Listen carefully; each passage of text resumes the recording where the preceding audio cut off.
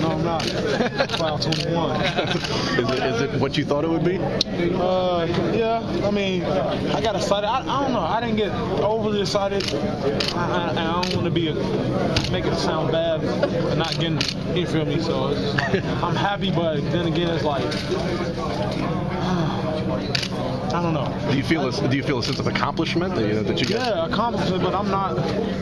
I mean, I got hype when the buzzer was going off, but once everything kicked in, like I mean, that's what it is. We now, in, in my opinion, we deserve. I think we deserved it. Are, are you surprised that your reaction was so you know Yeah, subdued more than anything? I. I thought I'd be more. I'm happy, but I'm not like because this is what we made of. We was brought to do. I think in my mind, and it's what we deserve. Our hard work pays off. Did you think that this was the, the, the obviously culmination when you and Wayne, you know, playing in the McDonald's All-American game, coming to Louisville, Yeah, a couple of this, years this was, this was a goal. I'm not gonna lie to you. It was a goal.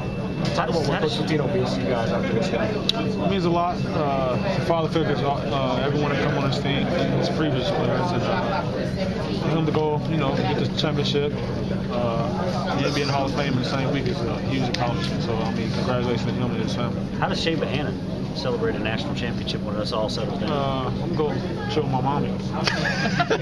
What do you say? I'm gonna go chill with my mommy. Uh, during the season, I really don't get time to spend with my mom. She works a lot, so I think that's what I'm gonna do. I'm gonna go when I get back home to Louisville. Uh, even tonight, she's coming up to the hotel, so I just, I'm just relax with my mom and you know catch up on a few things. How do you feel about your games the last couple of games? I mean, you kind of been slumping a little bit, and even on rebounds. What, what do you what do you make of your game the last couple of against Wichita State tonight as well?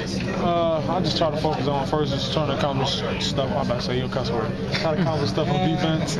Uh, I think defense gets anybody going, and uh, you know just try to rebound and you know get, get a lot of deflections and steals, and that's what will bring your offense. So I mean that's one thing I try to put in my mind before the game. Just try to start on defense first before offense. what was it about effort, Chane, with you? Effort, yeah, effort, and just, you know, just working hard. Just go do it. I mean, I'm Coach Pitino recruited me for a reason. That's come here and do what we just did today. Win championships. What's next? I don't know. What about your second half? Or I think I think second, I'm, I am the second half. Is, is the first half, I just got to survey the game, see how, see where the, where the opens at. A cerebral player. Yeah. So then when the second half come around, you know, that's when the, I mean you were frozen. the baby mama. I'm baby mama.